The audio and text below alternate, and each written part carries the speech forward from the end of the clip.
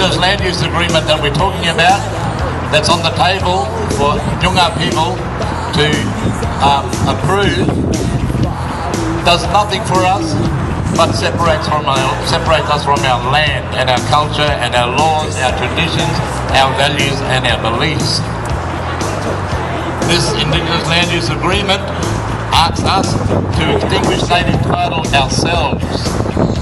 This Indigenous Land Use Agreement is in fact illegal and discriminatory. The things that come with this Indigenous Land Use Agreement tells us that we have to separate ourselves from the rest of the West Australian Aboriginal community. This Indigenous Land Use Agreement tells us that, in fact, we will be the only Indigenous inhabitants of this country recognised as um, true owners and custodians of a land. The rest of the Indigenous communities in Western Australia will not have that privilege after this deal is done. The Indigenous Land Use Agreement that we're talking about today subjects us to a lifetime of poverty the people in our community who will see benefit from this Indigenous Land Use Agreement are those who are already rich. A lot of people have made money from this Indigenous Land Use Agreement, particularly state government, will benefit immensely. We know that the Indigenous Land Use Agreement that we are going to come up against will separate us from mining companies and the government and we will be left on our own. Everything that we achieve right up until this document will be signed will be lost.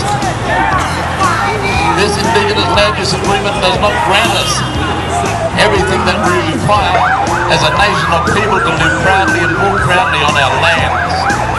We cannot but be angered, disappointed, dismayed, frustrated about what is about to happen. We don't know if this Indigenous Land Agreement will succeed, but I know that we have a lot of corrupt people working towards this particular ending. We have to make sure that those people at the end of the day will be accountable, not only to us, but to the rest of the nations in the WA, Aboriginal people throughout WA. We understand and we know that this Indigenous Land Use Agreement has created chaos in Western Australia. It has removed people from Aboriginal communities. It has extinguished our ownership and our rights over, over sacred sites. Every sacred site that we know of that is special to us does not exist under this policy. I know that today the word will spread from here. We will be able to tell our people what we heard today and we will be able to go away and say, let's look at the facts. Let's do our own research. Let's make our own conclusions about what we know. Let's tell our children that they mightn't have what we might have in years to come. We are up against a land council that works closely with the Barnett government to extinguish our native title rights and our sovereignty of this country.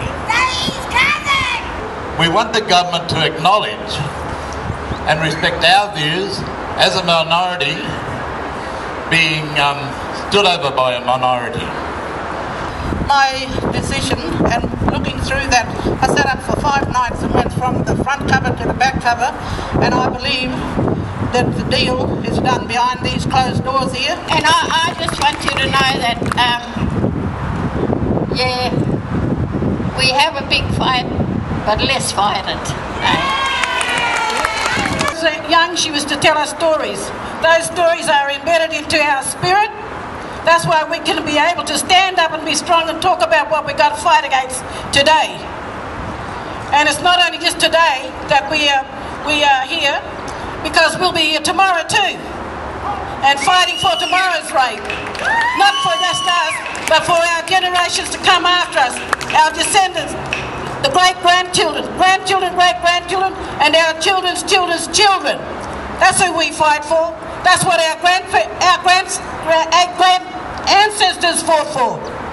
For when they knew that this day would come. They knew that it would happen today because of the atrocities through this through this country, through this land. Woman, the Bibbulmun can look as far as the eye can see, and I see it as our mother. Our mother is Bujari, which is short for the Budja.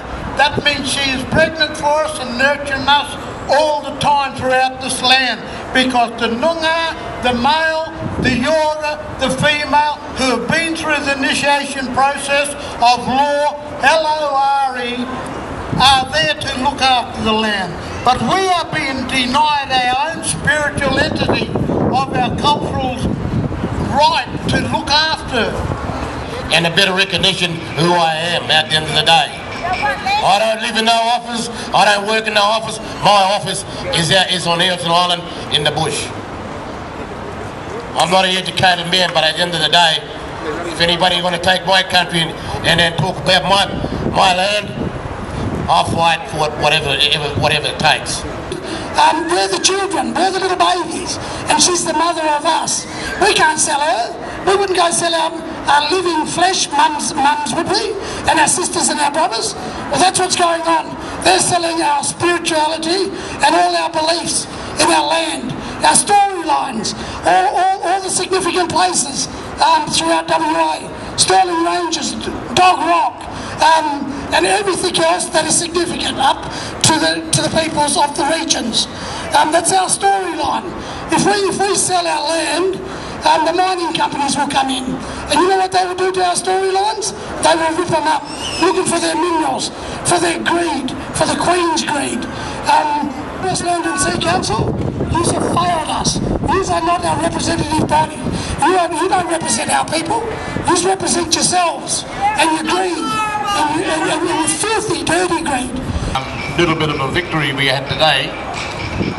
Um, a group of Nyungar people, I can't name them, um, signed a document today stating that they were bribed by the Southwest Aboriginal Land and Sea Council to the tune of $250,000. Other individuals in our community have been offered money but still are yet to get it.